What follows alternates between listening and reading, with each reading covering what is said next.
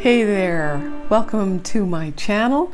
Welcome to all my new subscribers and welcome back to everybody that's been following me. I really appreciate it. And today I'd like to bring to you my channeled message for this October full moon. And oh boy, it's going to be quite a week, I'm sure, and into November. This moon is going to really supercharge the energies.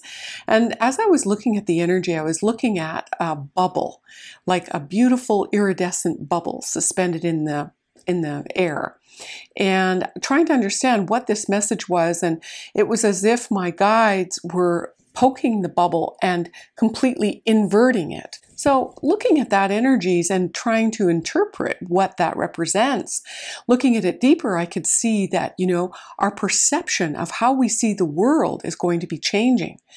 And the way we see the world and how we're reflecting into the world, how do we feel on the inside? How is that creating our outside world? And how is that outside world affecting and influencing our inside world? So, is it an innie or is it an outie? I mean, you're having an opportunity to reflect on maybe changes in beliefs or attitudes or perceptions and how that's been creating your world around you. And if you'd like to see things different, then you've got to make that shift. So we're being forced into making some of these shifts. And I see it sudden, I see radical shifts, surprising shifts that could be random and really simply out of the blue but there's an iridescence that is is attractive and and and seductive, I guess you could say, in the way that it shimmers. And so there is a lot of excitement associated with this energy in this bubble. So I don't want you to go into fear, but to think of possibilities and per- perhaps the veil of how you've been limiting yourself and your ability to create in this world and in your experiences, how, how that's going to shift and how exciting that can be. You know, at the same time, I was also getting a picture of an, an image of a rose, and it was a very large rose. But what's interesting is all the petals of the rose were stretched away from the core of the rose, and they were like they were attached with a rubber band, and so stretched out. And so, as I'm looking at these stretched out petals, I'm trying to interpret this. My, my guess is that, you know, we're being stretched in a lot of different directions, we're being tested and we're being distracted by the outside world and a lot of shenanigans and a lot of big changes and surprises all around us. So, are those distractions supporting you? And, you know, I would venture to say probably not. All of us have to look for ourselves and see where are you being distracted in a way that takes you away from being able to focus on what you'd like to create in your life. And where are you happy and where are you not? And is the news completely discombobulating you? You know, um, or maybe you're not paying attention enough to your surroundings and what needs to shift on the outside. Now, in terms of that distraction, I feel that we are being challenged to look for truth and in perhaps our perception of truth is going to change.